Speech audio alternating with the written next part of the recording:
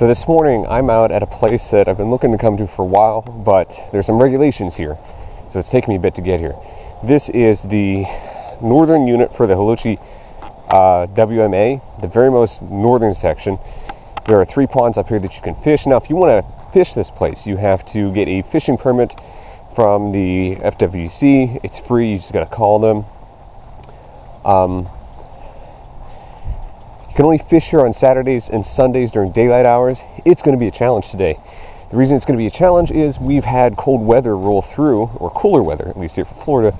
So it's in the high 60s right now, and we've got rain coming.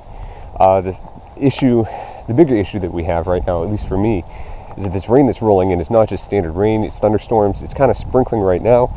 I don't mind rain, but I'm not messing around in thunderstorms. So we're going to take a look here and see if there's any real access to kind of fish here. Never fished here before, never been here before ever. Um, all the bass here are catch and release, which is a really good sign. But really kind of interested to see what's available to us. This is not, oh, they got a chair here. I have a couple different setups today. I brought all three rods, crankbait on one, which may get taken off. Uh, obviously the Senko on another, and then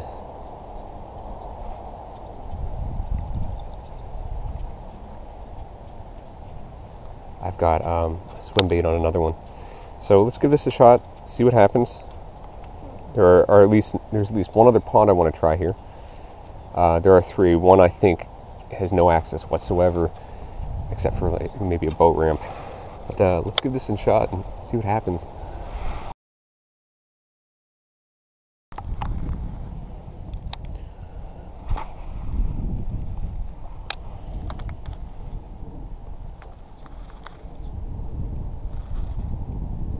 Fish pop right here.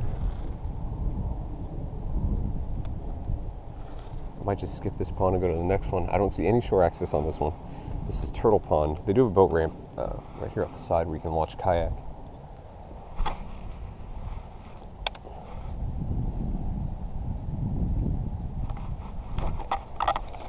There's a fish. It's not very big. I don't know if you guys saw that. He was probably all about three inches. He pulled it. Got my hook all messed up. I set the hook. Must have had it down on his gullet.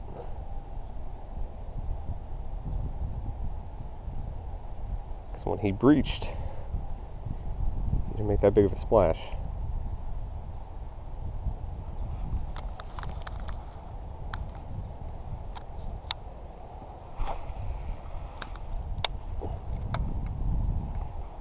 The water here looks probably three to four feet deep, and uh, the kicker is I got to try to figure out where these fish are at. If they're along the shore here, if they're pushed out more. Um, be a little difficult if I only have to can fish from this pier. That one on. That's a little guy. So there's the first one. Not very big. Yeah. Little dude. So interestingly enough, both his bites came kind of offshore. Probably 10 feet from the edge of those lily pads. So there might be an edge there, I don't know. Or they must, might just be kind of out in a little bit deeper water.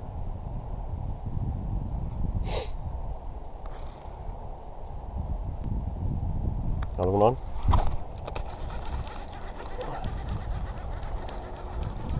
Oh man.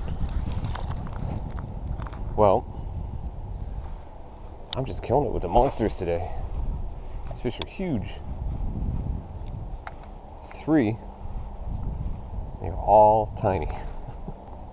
if for whatever reason you happen to be wondering why I'm kind of cranking the hook like that, um, the way that these fish are kind of hidden, it's just one bink. It's not a, a pop pop. It's just a boom. And my experience is when that happens, the fish is usually pretty big.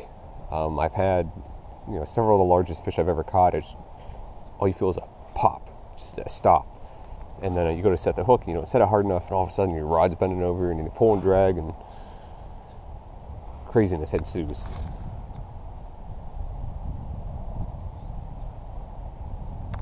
At least they're feeding. Oh, that's better than the last one. Still not a giant.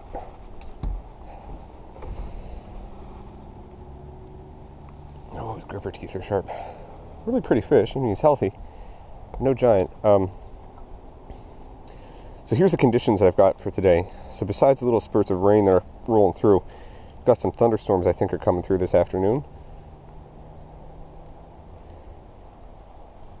And I'm hoping it's cool, but it's not cold. So I'm hoping that little bit of a front is enough to get these fish up and moving before the storms hit. And so far, it looks like it. It's uh, four casts and three, four fish or four different bites. He's got a jam pretty good in his cheek. I gotta get him unhooked here.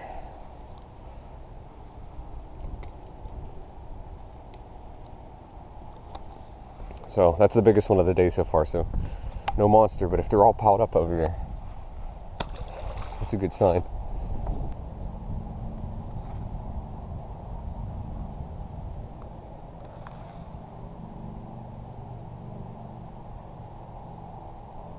Bite. That's another giant.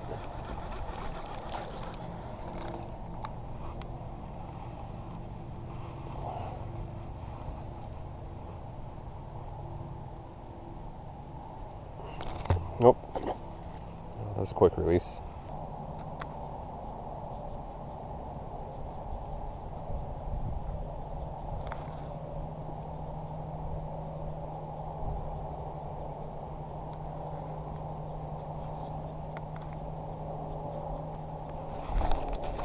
Oh, almost slipped there. Setting a hook on this behemoth. Get up here. That's second biggest one of the day.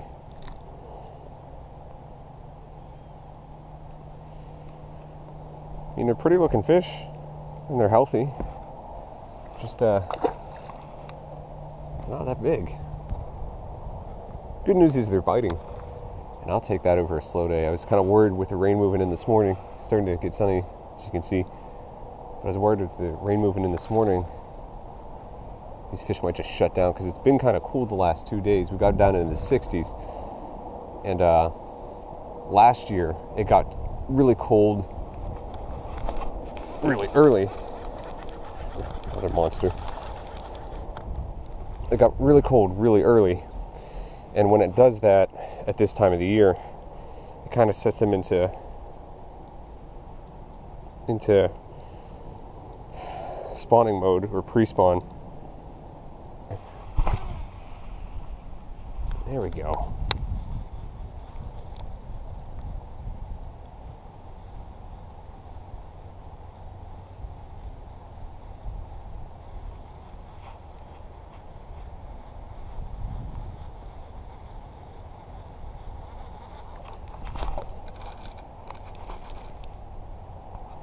Oh, he's got me stuck down in the. See if he swims out of it.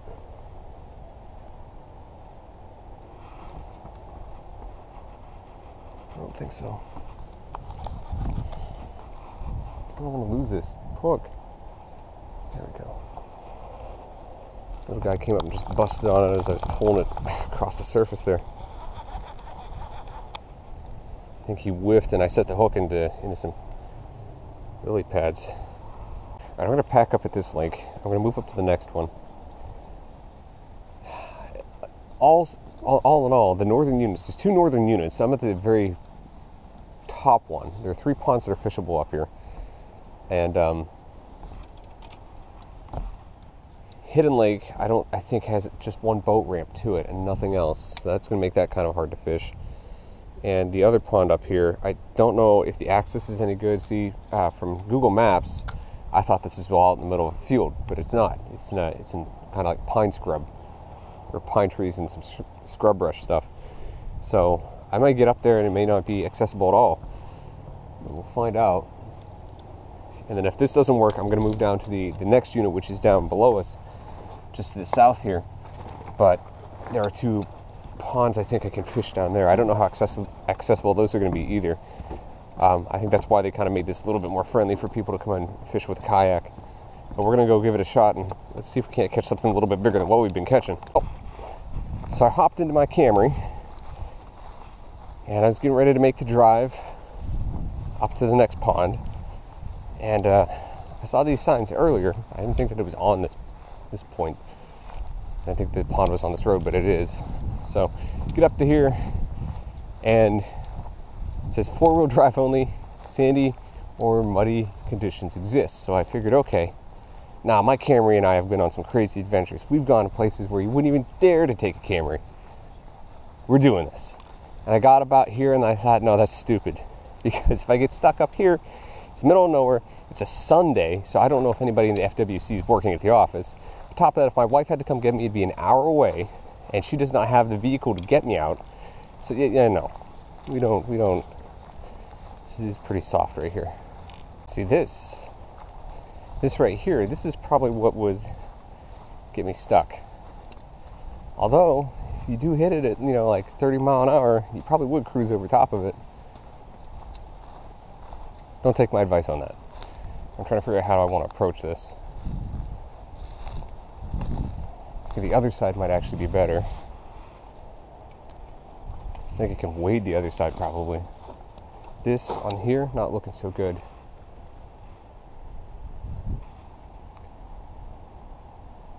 This side seems way more open. I could work that entire shoreline just by wading it. This I don't know about. All right, so I tried walking out there. The fact that it's up to my knees almost, you know, just 15 yards, 15, 20 yards out from where I started over there doesn't make me feel comfortable walking out in that grassy stuff. Uh, difference between here and, and, places like Catfish Creek Preserve where I'll get in the water is I've been there before multiple times. Uh, the water's super crystal clear. And then on top of that, there's just the, the, the weed line is not that far. It's maybe 15 feet, 15, 20 feet out, and I can deal with that. But this being 30 yards of marsh before I get to the main pond, I, I don't feel comfortable doing it. So we're gonna get out of here, go back down to the second lake that we were at, fish out a little bit more from the pier, and then uh, move over to Hidden Lake and see about fishing that from the shore if there's any place I can get onto that. I think there's a boat ramp there.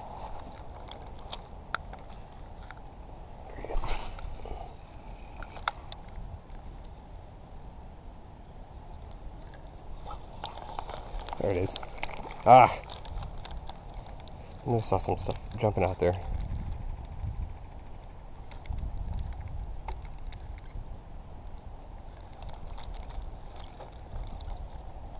Figured something was pushing them. Up figured it might most likely be a gar.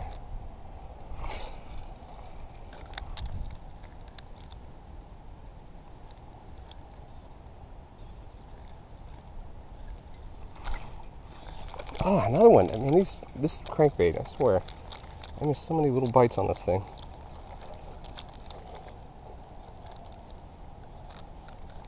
The hooks are sharp. Trust me, I've had them in my fingers. They're sharp.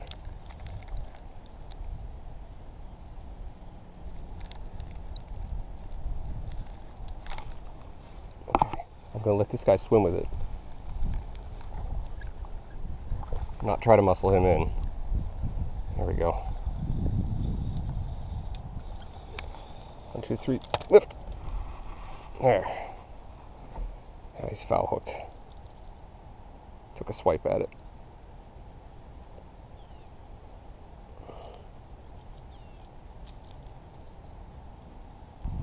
Another tiny little dude. There's several different spots that I uh, plan to go back and fish pretty hard. Once I get a kayak, I got to fish on now. That's another good guy.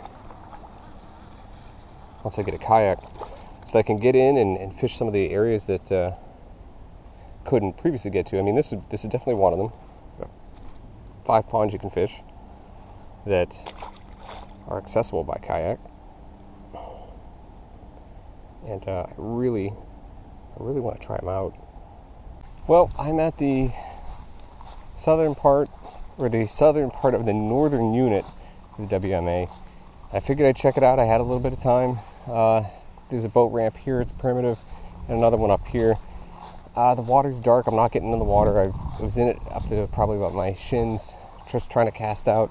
Heard a couple fish busting. I think something broke me off, but it wasn't down by the knot. It was up uh, a little bit higher, so probably had a the line that I didn't know about, wasn't paying attention to. But it doesn't look like I can fish these from shore. So I guess that's going to be it for today. Um, definitely, if you got a kayak, bring it up here.